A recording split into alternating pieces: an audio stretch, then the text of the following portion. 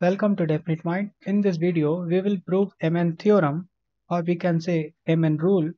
According to MN theorem, if there is any triangle ABC and the line segment BC is divided by the line segment AD in the ratio of M is to N with this alpha angle, this beta angle and this theta angle, then this two relation will come and I will prove both relation one by one.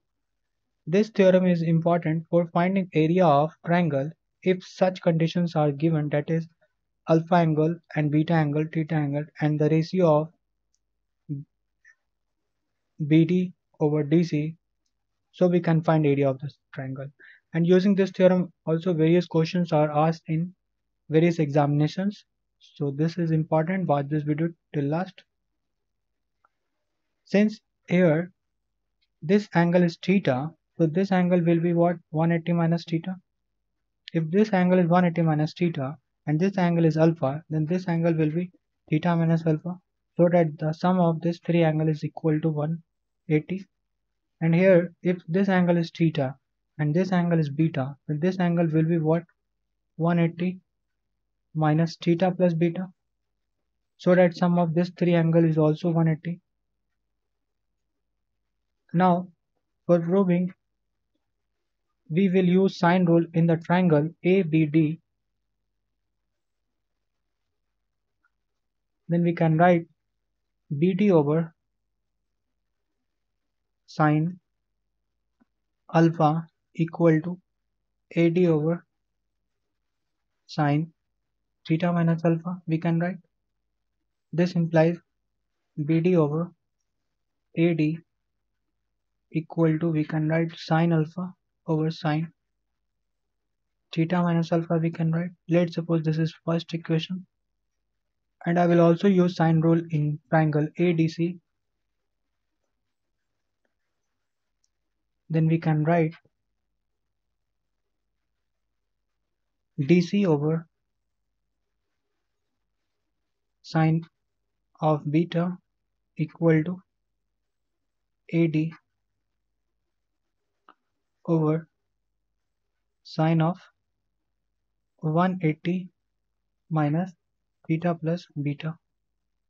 We can write this implies AD over DC. We can write this as sine theta plus beta because using trigonometric ratios yeah you can formula you can say properties we can write this sine 180 minus something sine something okay over sine beta. Let's suppose this is second equation. And if we multiply first into second then we get what? BD over AD into AD over DC equal to sine alpha over sine theta minus alpha into sine theta plus beta over sine beta we can write. And if you notice then AD AD get cancelled.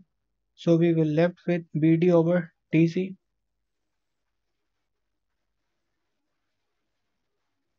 and you can see here the ratio of BD is to DC is what M is to N that is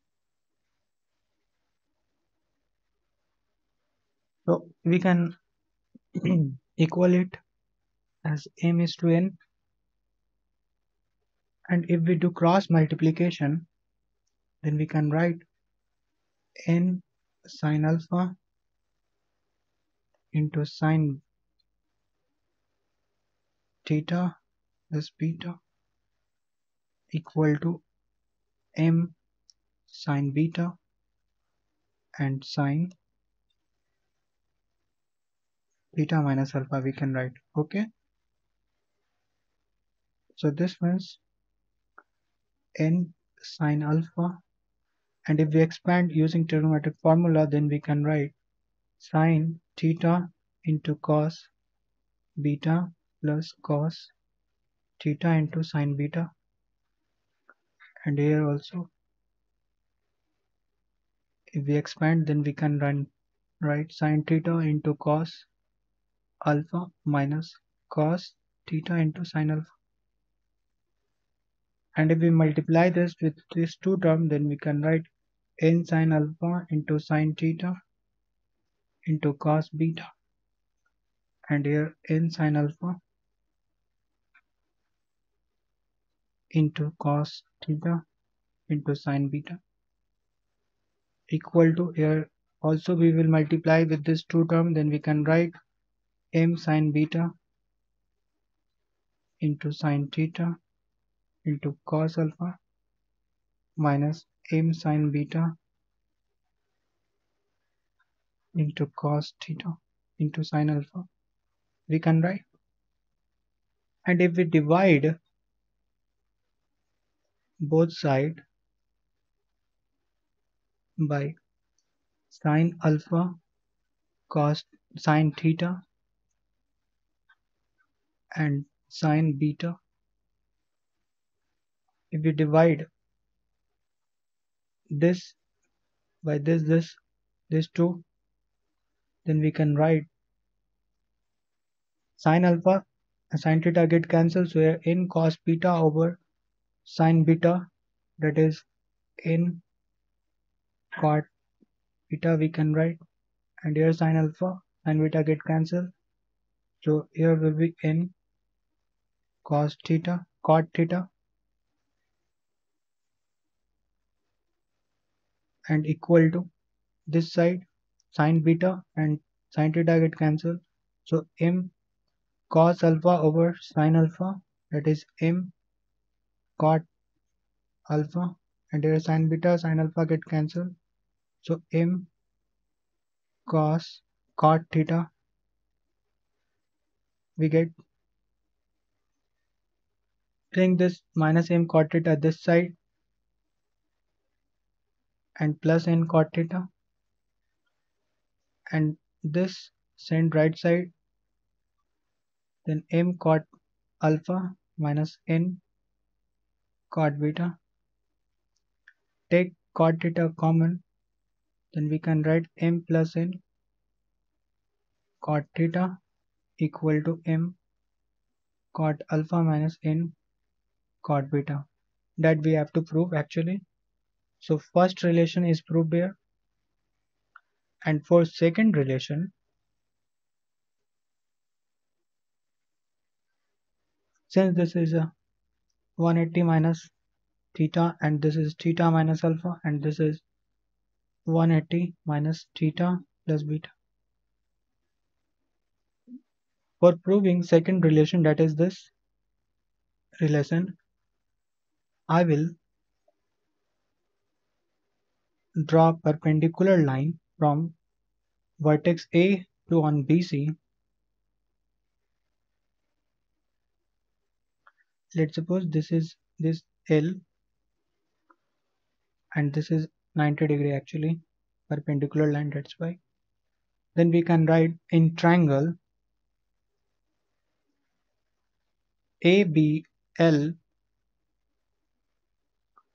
cot b equal to we can write base y perpendicular base over perpendicular. The base is bl and perpendicular is al and bl is actually sum of bd plus dl so we can write bd plus dl over al and we can write this as bd over al and plus dl over al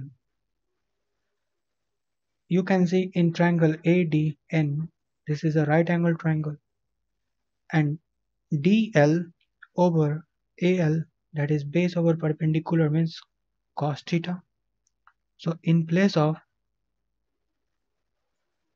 this we can write cos theta that is BD over AL plus cos theta we can write. This means we can write BD over AL equal to cot B minus cot cot theta. We can write. Okay? Let's suppose this is first and in triangle A CL also we can write cot C equal to base by perpendicular base is CLC and perpendicular is AL and LC can be written as DC minus DL and over AL so we can write DC over AL minus DL over AL we can write here also cot C equal to DC over AL and in place of DL over AL we can write cot theta. Okay? This means DC over AL equal to what?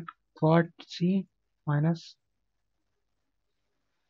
plus cot theta we can write because this will cause this side then become plus. Now if we let's suppose this is second and if we divide first over second then we can write actually BD over DL and DC over AL here BD over AL actually. Then AL AL get cancelled. This means BD over DC equal to what? Cot B minus cot theta and cot C minus cot theta.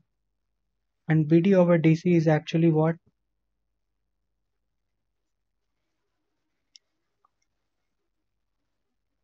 M is to n because the ratio is given. M is to n. So we can write equal to m is to n. Now if we do cross multiplication for this then we can write n cot beta minus n cot theta equal to m cot c minus m cot theta we can write. And if we bring this to this side here I am I have done mistake. Cot c minus cot theta. Actually cot c plus cot theta na? so here is what? M m cot c and plus m cot theta okay? Now if we send this to this side then here n cot b and this bring this side m cot c equal to m cot theta and plus n cot theta. And if you take a cot theta common then you will write m plus n cot theta equal to n cot b minus m cot c. And this is we have to prove actually. So this is also proved. Thanks for watching this video and please like, share and subscribe this channel also.